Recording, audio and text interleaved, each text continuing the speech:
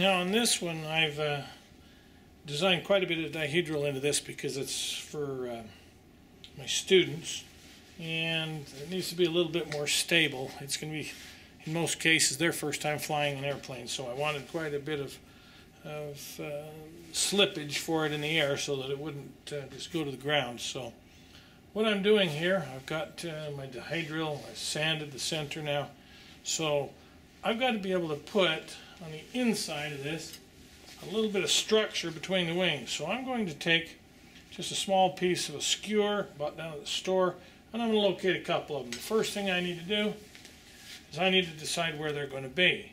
So I'm going to put myself a set of marks across there and there. That'll give me a real good general idea where they're going to be located. Now the big trick is you got to cut them so that they're relatively straight in there. So what I'm going to do is I'm just going to take my wing, come in there like that. That's about where my dihedral is set. I want to come in. Now you got to be careful with these drills cutting this foam. All they'll do is hollow out. So you got to be cautious. Go slow with them. Go in level. Take the other one. Set it up in the same spot. Same orientation with the bottom of the wing down like that. Now I'm going to have quite a bit of flexibility in there anyway, because it's just foam. Once I've got those designed into it now, I can put those about anywhere I want. So I'm going to snip myself off, run myself a test fit.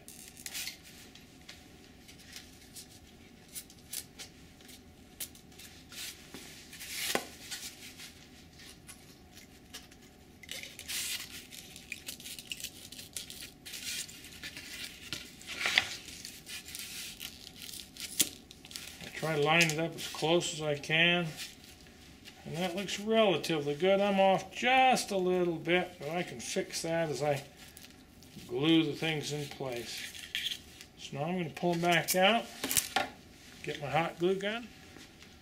Now in this instance, I uh, recognize the fact that I needed this in a little bit more forward, so the pin really needed to be a little bit more back. I'll hit it relatively fast, put the glue in there,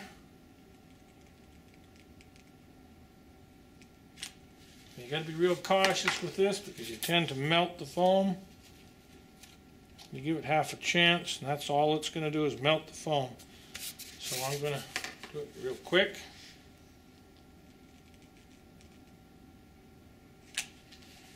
You actually see that foam going melting a little bit if you're not cautious because it's hot I don't want to burn my finger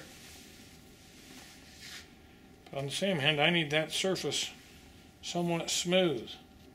Now, I'm going to let that cool before I go any further. Those are in there. They've already stabilized. They've already heated up. What I've got to do now is I'm going to glue that, but I can't hot glue that. I've got to have it in there.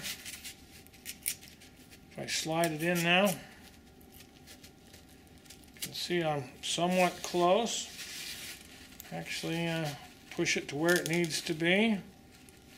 The glue's going to set up. Now once that's set up, I'm going to glue that, but I'm not going to glue it with hot glue because all it'll tend to do is to, to melt the foam. So I'm going to use a different kind of glue on that foam. To glue this, I'm going to use Power Grab. I bought it uh, down at the hardware store. It's just simply intended for the foams. Uh, it's good. I'll use it to attach several of my other parts later on with this. Um, I want it to, now this has got a bit of time you can work with it. You don't want to extend it very long time wise.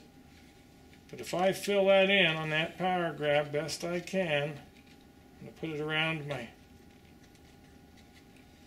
pins. Go all the way out on it. Now when you're working with this, it's a good idea to put it on both surfaces, but you don't have to put a lot of it on the second surface. Just enough to wet that surface.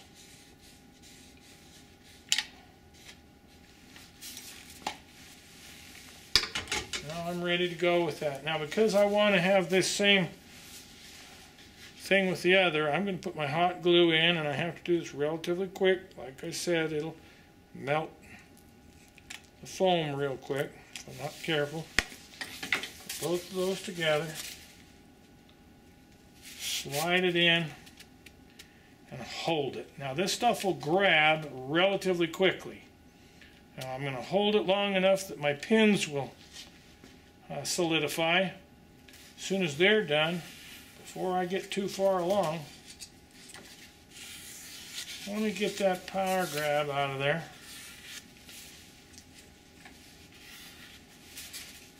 Now, you see how I ended up having to hold that. I want to make sure that it stays tight. Well, that hot glue continues to set up.